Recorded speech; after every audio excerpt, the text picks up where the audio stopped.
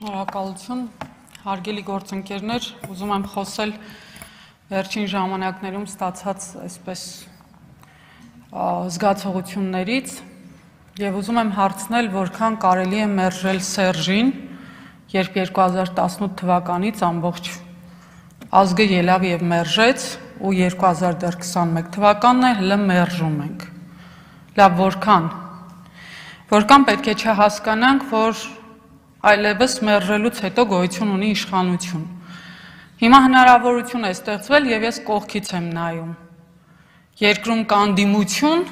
եւ էլի անդիմություն։ Իշխանություն գոյություն չունի։ Մեկը մեկին են մերժում։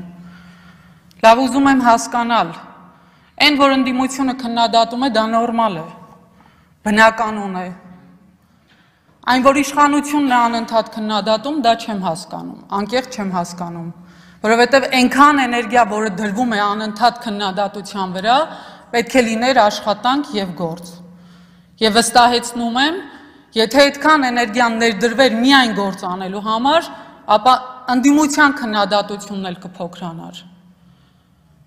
Պատկերացրեք, բացի ընդդիմությունից եւ իշխանությունից գոյություն ունեն մարդկանց խմբեր, որ ոչ այն կողմի վրա են, ոչ այն։ Իսկ ինչ են, իրենք Հայաստանի Հանրապետության քաղաքացիներ չեն եւ պետք է նստեն ամեն օր Նայն թե ինչպես են ամեն մեկը իրար ինչ ասես ասում, ու ակնկալեն, թե վերջապես պետք է ողջախոհություն լինի այս երկրում։ Իսկ այդ ողջախոհության քայլերը առաջին հերթին պետք է անի հենց իշխանությունը։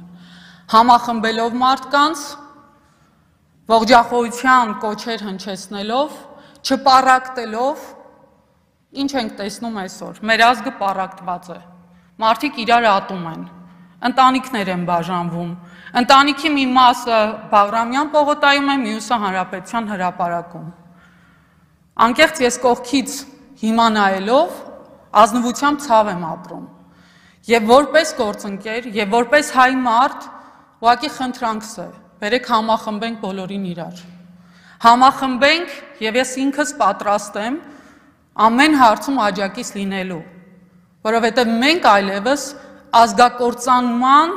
ճանապարհն ենք բռնել։ Միգուցե իներցիոն կերպով մենք գնում ենք ու չենք սա գիտակցում։ Մի պա դուրս եկեք ու կողքից նայեք, պարտադիր չէ խմբակցությունից, այ զուտ հայացքով։ Մենք այլևս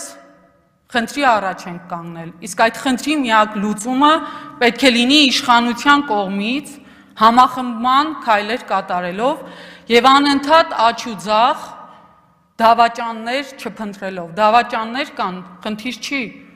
Իսկ ուր է օրենքը։ 3 տարի սպասում եմ օրենքին։ Դավաճաններ կան, խնդիր չի։ Իսկ ուր է իր համապատասխան պատիժը։ Չկա այդ պատիժը։ Եթե չենք կարող, ապա խնդրում եմ անընդհատ չասենք վերջ թավիշին։ Խնդրում եմ անկարողությունը թավիշ չհամարել։ Շնորհակալություն։